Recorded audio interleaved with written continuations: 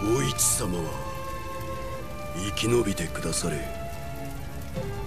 それが長政の望みでもあったはず。どうか。本当におせっかいですね。勝家は。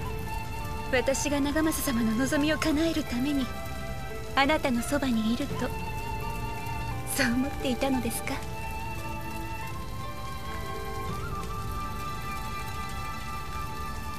お市様。しからばごめん。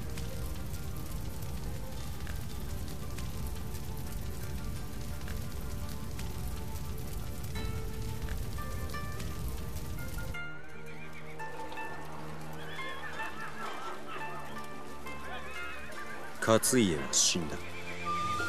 これで秀吉様の世は決まったも同然俺は前にもこんな風景を見ている。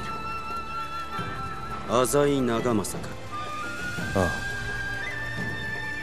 あ。ただ一人で時代の流れに立ち向かった男だ。力及ばず守ることはできなかったが。